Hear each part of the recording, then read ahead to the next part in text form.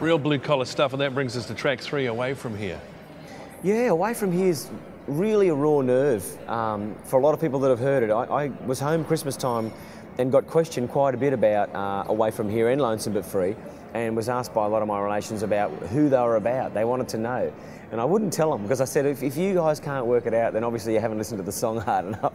there were these beautiful little mill homes just outside of Grafton where one of my uncles lived. And um, I used to hear stories about this little area. It was just, they were purpose built for the mill workers. Um, it was a cycle that was very hard to break.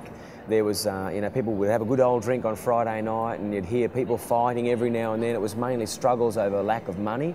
And it was one of those uh, cycles that was very hard to break. And away from here is a story that just had to be told. It's very much a blue collar story, but we've had so many people that come up after shows saying how much they love that tune, and I'm, I'm chuffed because it's one of my favourites on the record. You touched on Time as a friend of mine before. Tell us the genesis of that story. Well, it's really about me being a sly dog. At, at age 18, I had this, this beautiful girl used to come to these gigs at the Crown Hotel, and, and she had this big boyfriend, which never really perturbed me. I was pretty brave when I was a kid. Do you remember her name? No. of course, I wanted to remain innocent. But every now and then she'd wait till the boyfriend wasn't looking and give me this big, you know, wink across the room, and I'd be thinking, wow, you know, and I'd wait till he wasn't looking and return the favour. And, and I told Paul Kelly about it, and he said to me, mate, it's a great era of your life. It's the sly dog era. And he said, You've just got to bide your time in these situations. And the song is just about biding your time. And um, it's so true. We won in the end, but you had to just think about the, the biding your time thing. So when you say we won in the end, you mean you did get together with her? Yes, I did. There was two lines at the end that says... I wasn't um, sure about that in the, the lyrics here. There's two lines that Paul wanted to contribute on.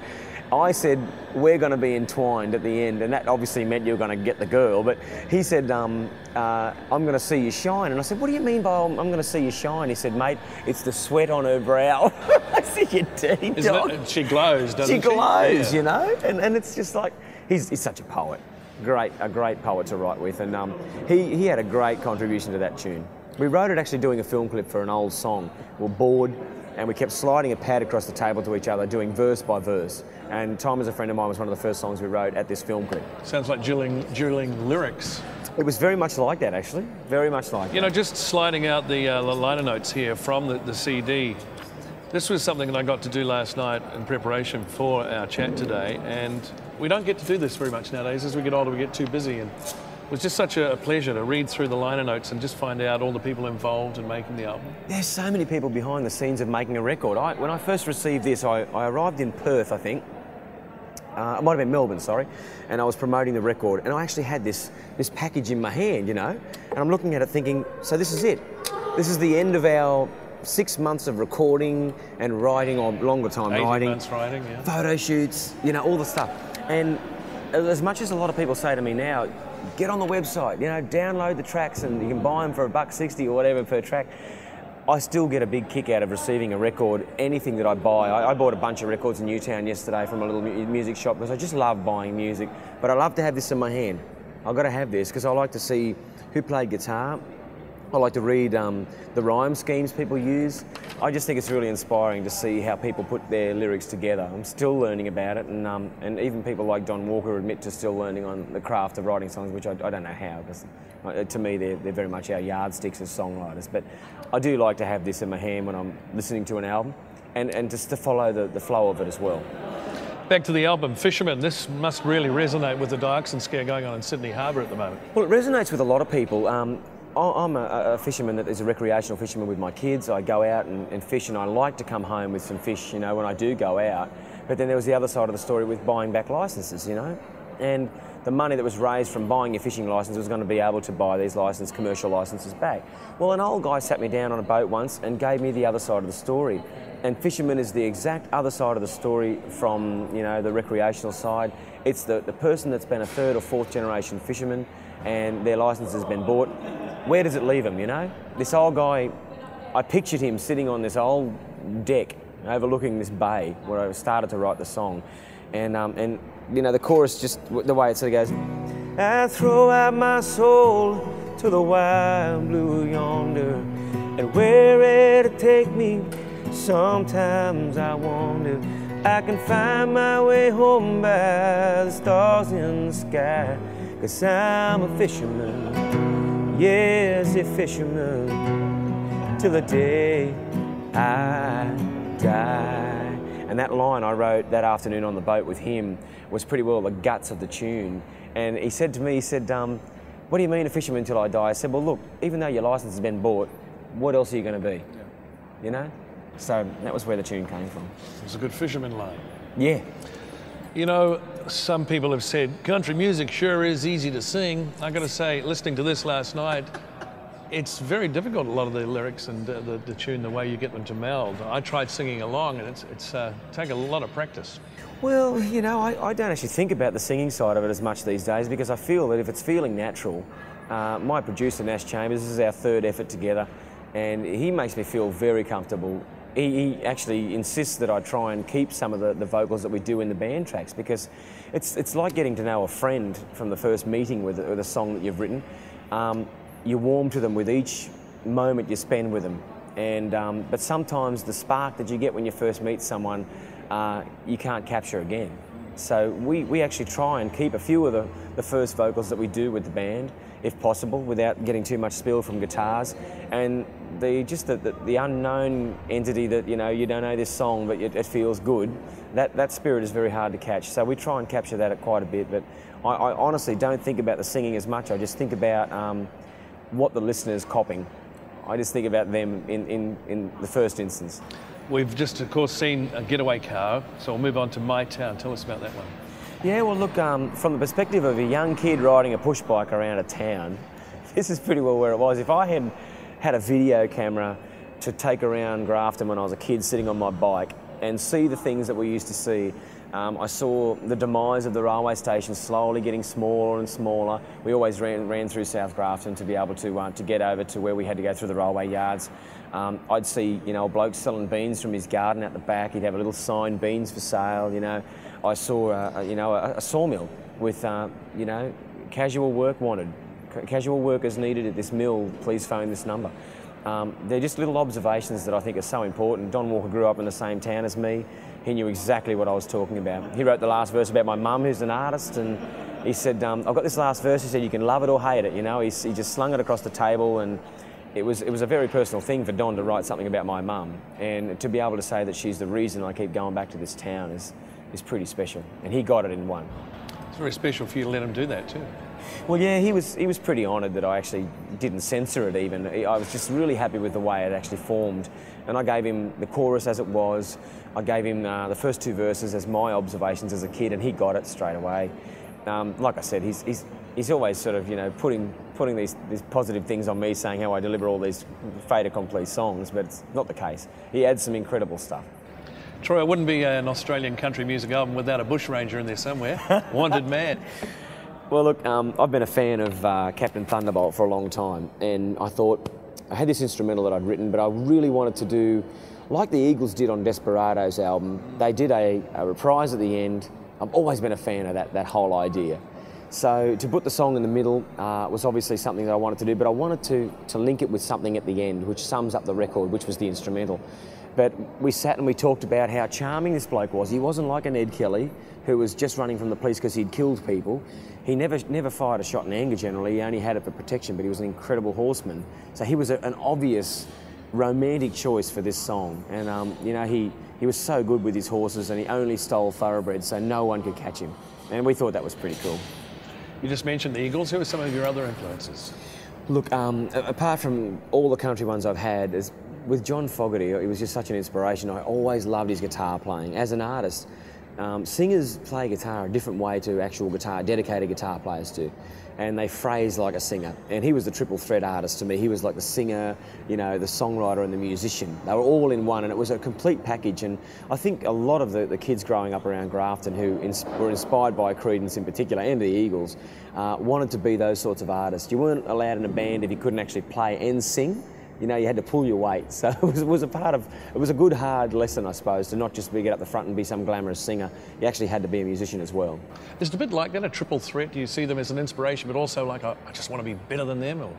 Well, I think you can use them as yardsticks, that's for sure. I mean, I don't think it'd ever be better, but I, I really do believe that to have those people as inspirations are really important. I mean, to watch, when I was a kid, I first got this little Strat copy guitar and, and listened to Stevie Ray Vaughan, and I'd, I'd, I'd sit on the veranda with a little tiny amp that, you know, was so quiet you could hardly hear it.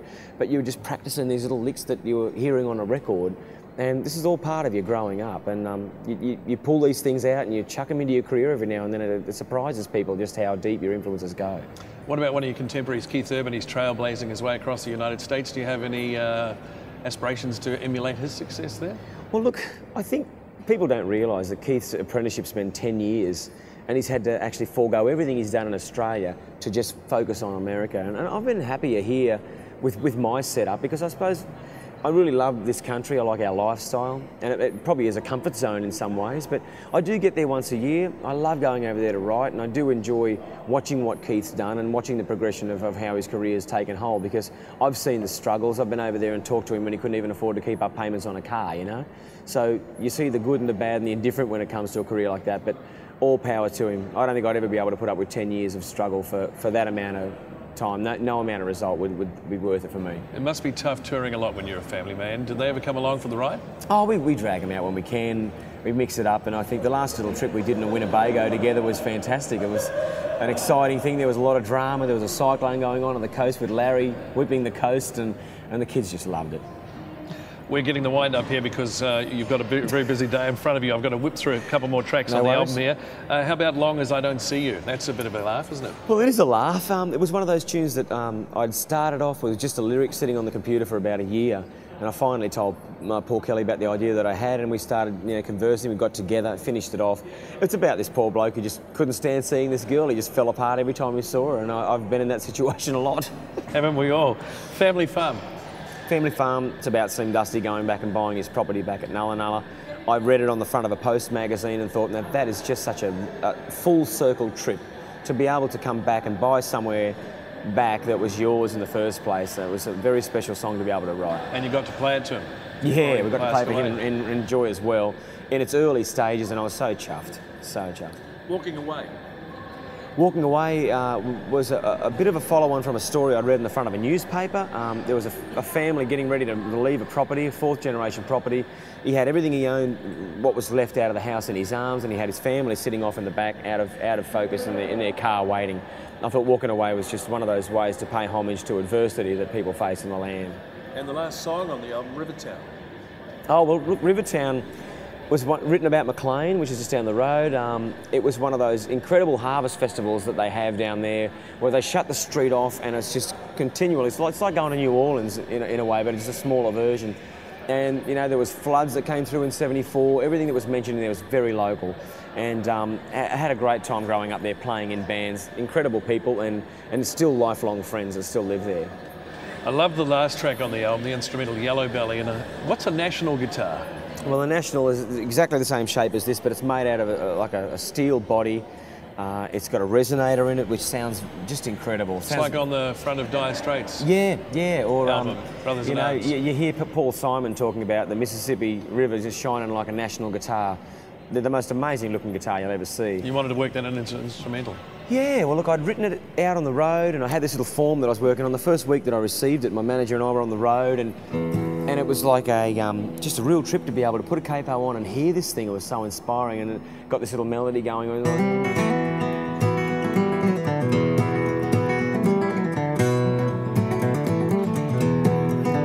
And that came from uh, pretty well just receiving the guitar, and I reckon songs arrive in guitars for sure. And I keep telling my wife that so I can get a few more guitars. How many have you got?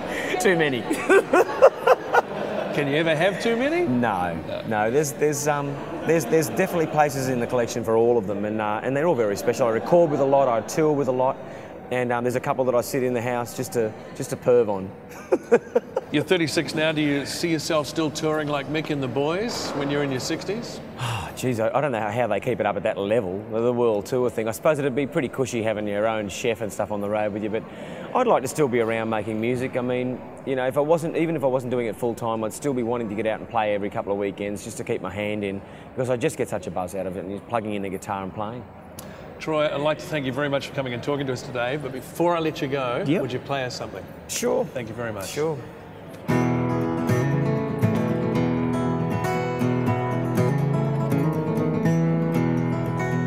Well, I've been driving every back road, me in this old car. With one headlight working, and it's only overheated three times so far. And I guess that's pretty good. When I lost sight of the city, I felt a big relief. It took me to a place, a place where I'd always want to be. I'm going back home. I'm going back home where people call you by your first name. I'm going back home where people treat you just the same as they always have back home. Yeah, I'm going back home.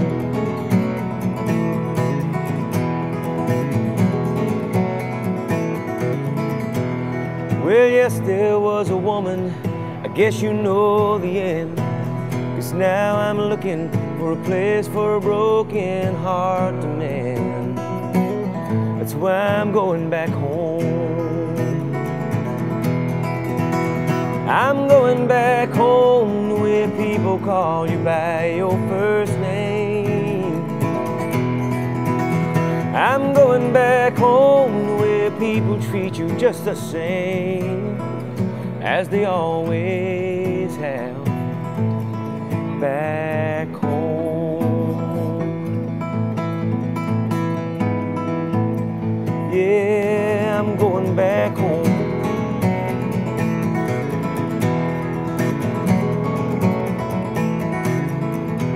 Well, we got the news this morning. Dad had passed away. A new day was dawning, and the tears were rolling down my face as I was going back home. I'm going back home to where people call you by your first name. I'm going back home where people treat you just the same as they always